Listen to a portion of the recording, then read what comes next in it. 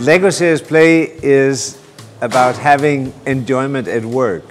It's about being able to do your work with more fun, more interest, but also do your work more efficiently and do your work so you better have a better understanding of each other. That is really what it is. So it's about having more enjoyable work, but also having a more efficient way of working together.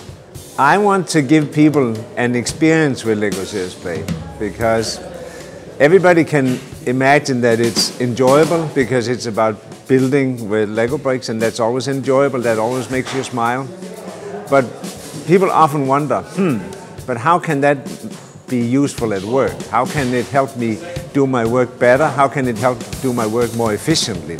And at the same time, have a good time. That's what I want to give people an experience with it. You can only really sort of experience it and then you can feel, oh, okay, now I understand why it works. I'm just building because the, the whole notion is that everything we know, we of course have in our heads and in our mind and body. But in reality, we don't know about most of what we know, we don't really know we know. So that is why when we make decisions and we do stuff, we often listen to our stomach, to our gut feeling, nah, this feels right, this feels wrong, or not so.